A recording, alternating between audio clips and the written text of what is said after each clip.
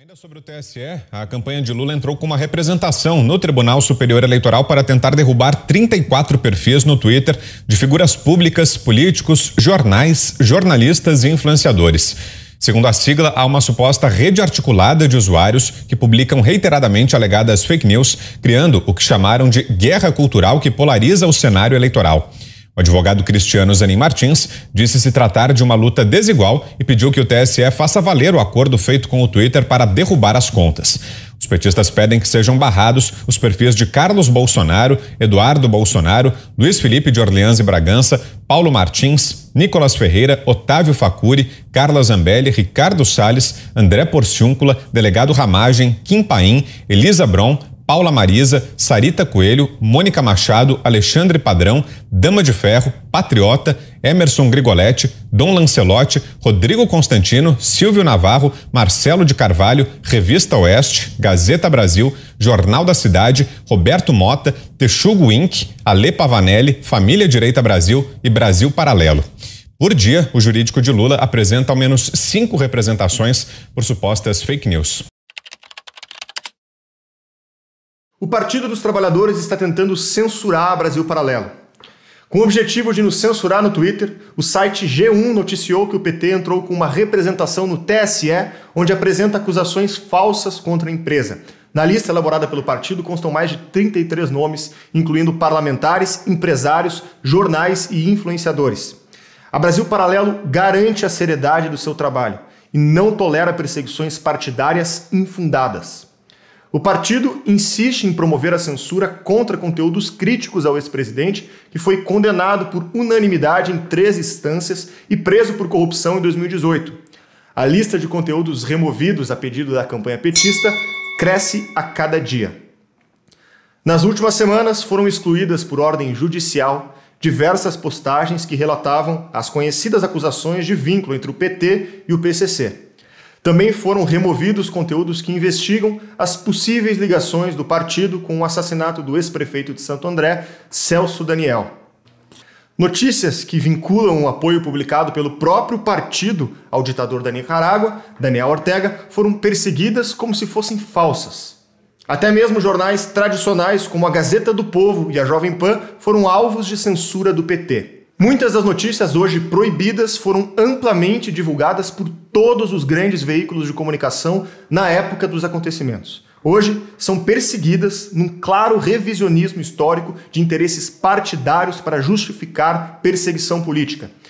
A liberdade de expressão brasileira corre seríssimo risco e o Partido dos Trabalhadores não dá motivos para imaginar um cenário melhor caso o candidato vença as eleições no próximo dia 30. A elaboração de listas de perseguição política com nomes de pessoas e entidades que devem ser perseguidas e caladas, remete aos períodos mais nefastos da humanidade. A liberdade de expressão é condição para o exercício da democracia e da política. Sem ela, o eleitor, o povo e a mídia se tornam reféns dos donos do poder. Se algum nome foi acusado de mentir com o objetivo deliberado de prejudicar um candidato, o difamado deve apontar que mentira é essa, conflitando fontes e dando espaço para a defesa. É de se lamentar que, além disso não está acontecendo, parte dos veículos de mídia atuem como cúmplices ao legitimar de forma rápida e categórica a perseguição política do partido. Muitas vezes, criminosos pegos em flagrante delito são tratados como suspeitos, mas nesse caso, a Globo nem sequer usou aspas, não usou supostamente trabalhariam, mas legitimou de maneira rápida e categórica a falsa acusação do PT, abandonando qualquer trabalho investigativo.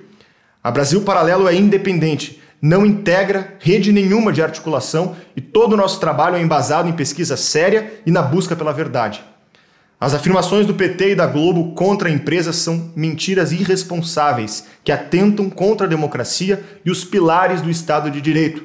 Por isso, é inadmissível que o nome da empresa seja denunciada de forma caluniosa em uma lista de disseminadores de fake news elaborada pela campanha de um candidato que já deixou clara a intenção de controlar o que pode e o que não pode ser dito.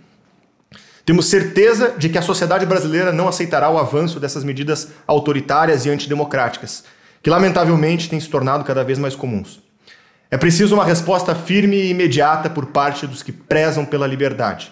Não podemos aceitar como normalidade que um partido político controle o que é verdade e o que é mentira, sem a necessidade de conflitar fontes e perseguindo aqueles que noticiam fatos que julgam desfavoráveis para seus interesses de poder. No passado, muitos lutaram para restabelecer o direito de se expressar livremente e escolher os seus representantes. A Brasil Paralelo é uma empresa de mídia apartidária e independente, cujo conteúdo segue rigorosos processos de checagem. Prova disso é que jamais tivemos qualquer conteúdo removido das nossas plataformas por problemas relacionados à consistência das informações publicadas. Empregamos 300 funcionários que trabalham arduamente para atender da melhor maneira nossos mais de 400 mil assinantes. Não recebemos dinheiro público e jamais apoiamos qualquer partido ou figura política.